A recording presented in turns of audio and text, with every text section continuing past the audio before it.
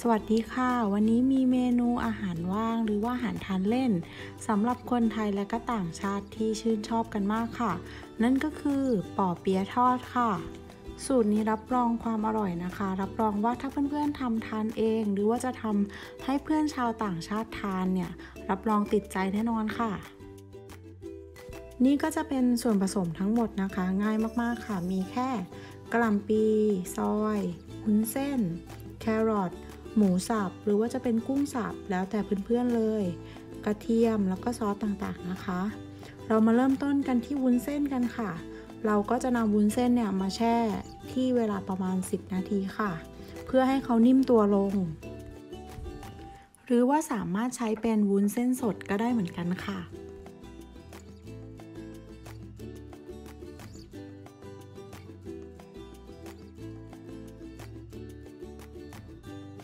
หลังจากครบเวลานะคะก็จะเห็นว่าวุ้นเส้นเขามีลักษณะนุ่มลง จากนั้นเดี๋ยวเรานำมาตัดเป็นท่อนเล็กๆกันค่ะ เพื่อที่จะได้ง่ายเวลาที่ทานค่ะ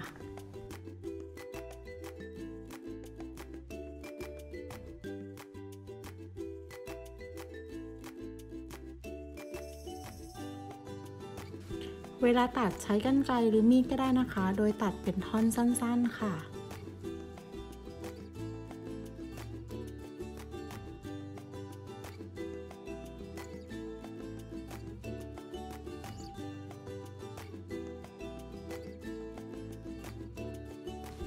จากนั้นมาซอยกระหล่ำปีกันนะคะ ก็นำกระหล่ำปีมาซอยค่ะ ซอยให้เป็นชิ้นเล็กๆ แล้วก็บางๆนะคะ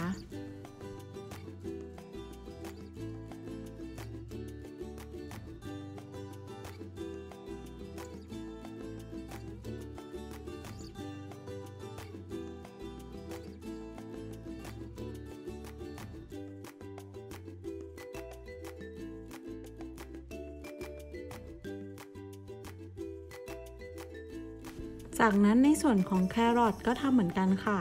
ปอกเปลือกออกแล้วก็ซอยเป็นเส้นบางๆ หรือว่าจะใช้เป็นที่ขูดผักต่างๆก็ได้ค่ะ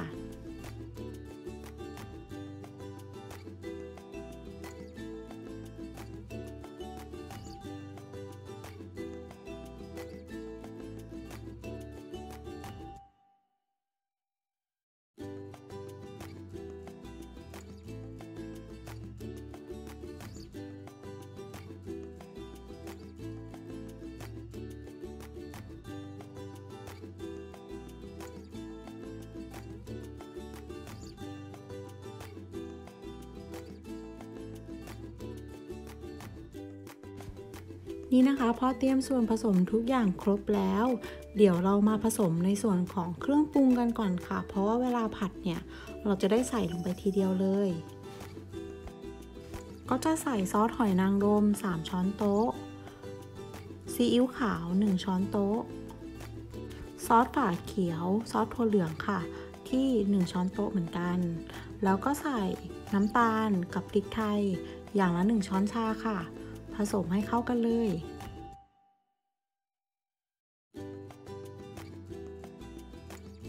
จากนั้นเรามาทำการผัดไส้กันค่ะ เริ่มต้นก็ใช้น้ำมันประมาณ 2 ช้อนโต๊ะนะคะ ใส่ลงไป จนกระทั่งน้ำมันร้อนเราก็จะใส่ตัวกระเทียมสับที่เราเตรียมไว้ลงไปค่ะที่ 1 ช้อนโต๊ะ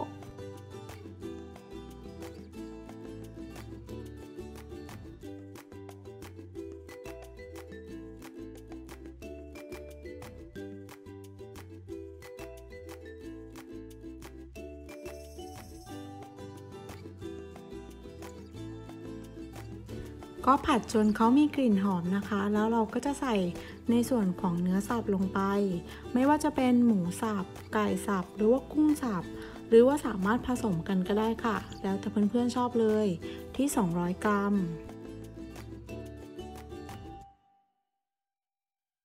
โดยเราใช้ไฟกลางค่อนข้างสูงนะคะ ผัด ก็จะผัดจนกระทั่งตัวเนื้อหมูของเราเนี่ย เกือบที่จะมีความสุกนะคะ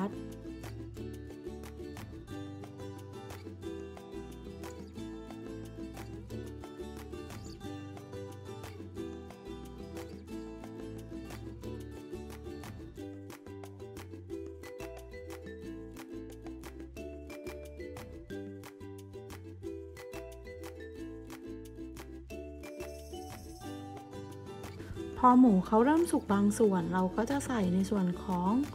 วุ้นเส้นลงไปผัดต่อเลยค่ะ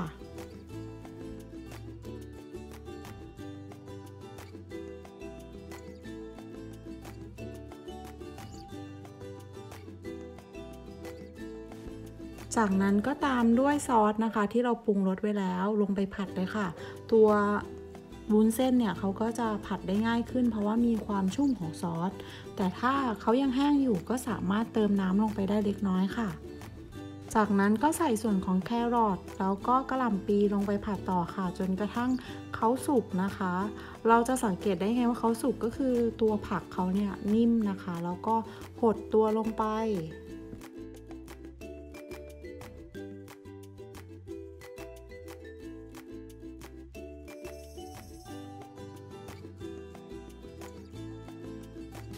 ตอนนี้ยังดูเต็มกระทะอยู่นะคะ ไม่ต้องห่วงค่ะ ผัดไปสักพักเขาจะยุบลงมาค่ะ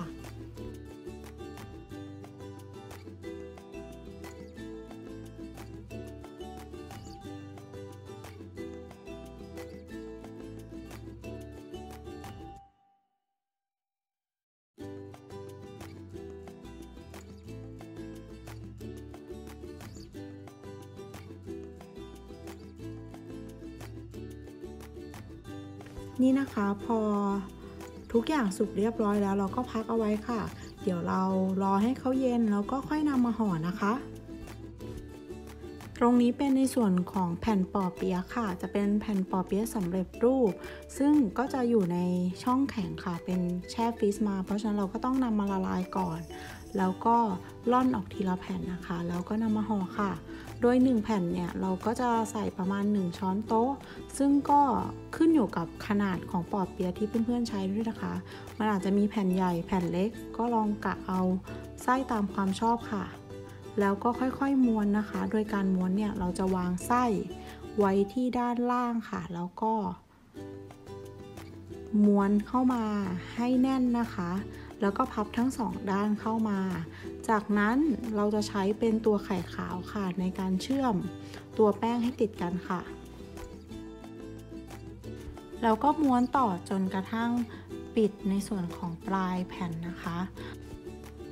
แค่นี้เราก็จะได้ปอเปี๊ยะสำหรับนำมาทอดแล้วค่ะทำง่ายมากๆเลย แล้วก็ห่อออกมาก็ยังสวยด้วย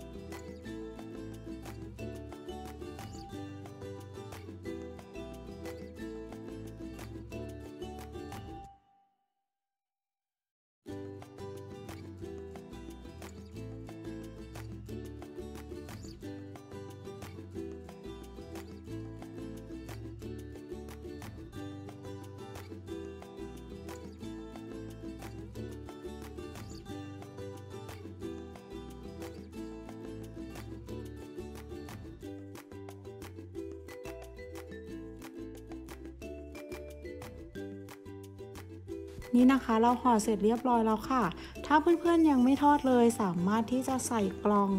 ปิดกันอากาศเข้ามาหรือว่าปิดแรปพลาสติกนะคะ ให้เรียบร้อยค่ะ สามารถเก็บเอาไว้ในตู้เย็นทอดได้ 3-4 วันเลยค่ะ แต่ถ้าใครอยากจะเก็บนานกว่านี้ก็ใส่ช่องแข็งเลยค่ะ เก็บได้นานเลยพอเวลาจะทานก็นำออกมาค่ะ ขั้นตอนการทอดนะคะ ให้ตั้งน้ำมันจนกระทั่งร้อนก่อนที่จะทอดนะคะ ก็ตั้งที่ไฟปานกลางเนี่ยประมาณ 3-4 นาที จนกระทั่งแน่ใจว่าเขาร้อน แล้วก็นำปอเปี๊ยะลงไปทอดค่ะ ประมาณ 5-8 นาทีอยู่ที่ความเหลืองของข้างนอกนะคะ ของผิวของตัวปอเปี๊ยะถ้าออกมาเป็นสีทองสวยเลยก็นำขึ้นได้แล้วค่ะ เพราะไส้ข้างในเราสุกอยู่แล้ว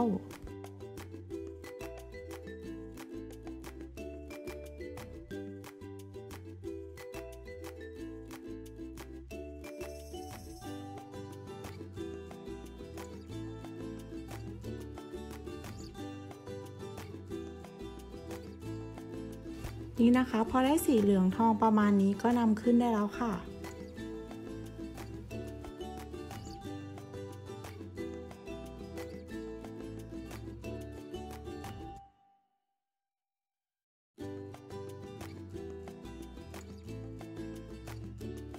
เสร็จเรียบร้อยแล้วค่ะสำหรับปอเปี๊ยะทอด สีสวยเหลืองทองออกมาน่าทานมากเลยค่ะ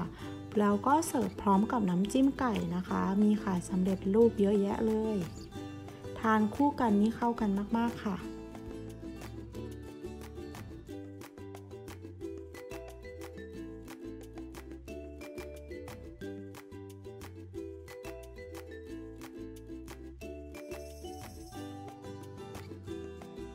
หวังว่าเพื่อนๆ คงจะชอบคลิปนี้นะคะ ถ้าชอบคลิปนี้รบกวนกดติดตาม กดไลค์ ด Subscribe เป็นกำลังใจให้ด้วยนะคะ แล้วพบกันใหม่กับคลิปหน้าค่ะ สวัสดีค่ะ